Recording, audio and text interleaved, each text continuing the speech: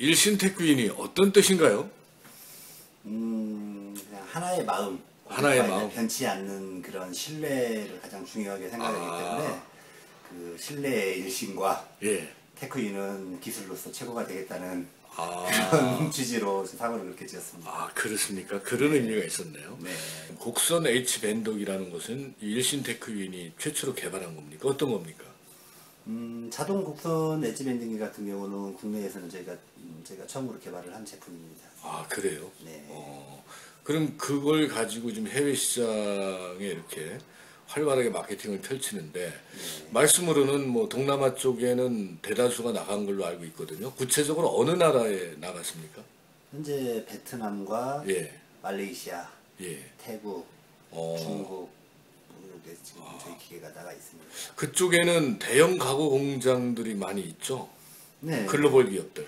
네, 태국 같은 경우에는 지금 이케아 하청 업체에 예. 저희 기계가 들어가 있고 베트남 같은 경우에는 인터우드사라고 그 글로벌 가구 제조 회사인데 예, 프랑스 회사거든요. 예. 그 베트남 공장에 저희 기계가 들어가 있고 그렇습니다. 아 그래요. 그런 걸 본다면 상당히 우리의 중소기업이 에, 해외 시장에 상당히 약진하고 있는 아주 바람직한 모습인데 어떻게 보면은 좀 자부심을 느끼게 되고 그런 상황인데 오늘날의 우리 대한민국의 중소기업들이 현실적으로 너무 어렵거든요. 아무래도 내수 시장 기반을 가지고 해외 진출을 해야 되는데 예, 국내 시장 규모가 작다 보니까 예. 해외로 나갈 수 있는 그 원동력 자체를 좀 확보하기가 경쟁력을 확보하기가 좀 어려운 건 사실입니다. 아 그래요. 이 회사를 설립하신 지는 얼마나 되셨죠? 저희가 2008년도에 설립했으니까 예. 한 7년 정도 돼갑니다. 아 그래요. 네, 근데 사장님 원래 엔지니어 출신이 아니라 경제학을 전공하셨다고 그랬나요? 네 경제학 전공했습니다. 어, 그리고 영업을 하시다가 네, 거꾸로 기술을 배우셔가지고 이렇게 엔지니어 아닌 엔지니어가 되신 셈이네요. 그래도 뭐 이쪽 분야 곡선 엣지밴드 분야에서는 국내에서는 가장 그 전문가로서 인정을 받고 있고요. 예, 뭐 기계 영업이라는 게 말 그대로 기계에 대해서 모르면 또 영업이 안 되는 부분이거든요. 어, 그러다 보니까 뭐 자동차나 그런 세일즈하고 틀리 예. 다르게 고객분들이 저에 대한 기술의 신뢰가 생기지 않으면 예. 절대 영업을 할 수가 없는 시장입니다. 아, 그렇습니까? 어. 근데 영업을 하시다가 네. 어떻게 이렇게 이걸 개발하시게 되고 이런 또 기업을 설립하셔서 해외 시장으로 이렇게 적극적으로 또 수출도 하고 하는 이게 거꾸로 엔지니어가 그렇게 이 나중에는 이 기업을 설립하게 되는 상황들이 많은데 이 분야는 특수한 분야나 네. 어떻게 영업을 하시다가 이렇게 기계 쪽에 이렇게 되셨는지 그 거꾸로 된 과정이거든요 어떻게 보면은 네, 맞습니다. 아, 특별한 계기가 있으셨던 거예요? 어, 제가 엣지밴딩 분야만 지금 한 16년째 근무를 하고 있는데요. 예, 그 해외 전시회라든지 국내 가구 업체들을 많이 다니다 보니까 예, 이런 게 꼭 필요하고 이런 부분에 대한 문의를 많이 저한테도 많은 고객분들이 문의를 해오셨는데 예, 국내에 이런 기계가 없다 보니까 국내 가구라든지 싱크 쪽도 뭐 제품 개발이 안 되고 그러다 제가 한번 이 시장을 한번 개척을 해보고 싶은 욕심이 생겨가지고 아. 시작하게 됐습니다. 아 그래요? 다양한 곡선을 구현할 수 있는 기계 장치가 있다, 설비가 있다.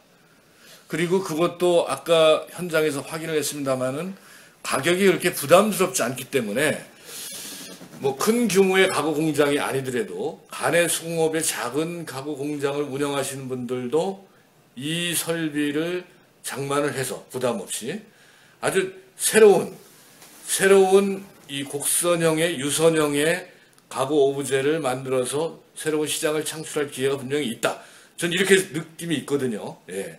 그래서 향후에 우리 일신테크윈에서 이 개발한 곡면형 자동 bander기와 더불어서 그 곡면형 자동은 좀 가격이 비싸니까 네. 저희가 소개해드렸던 수동 또 그거에 이어서 이 엣지 트리머죠. 네. edge trimmer를 같이 구비하셔도 충분히 그러한 needs를 충족시키는 새로운 가구를 만들어서 시장을 만들 수 있다.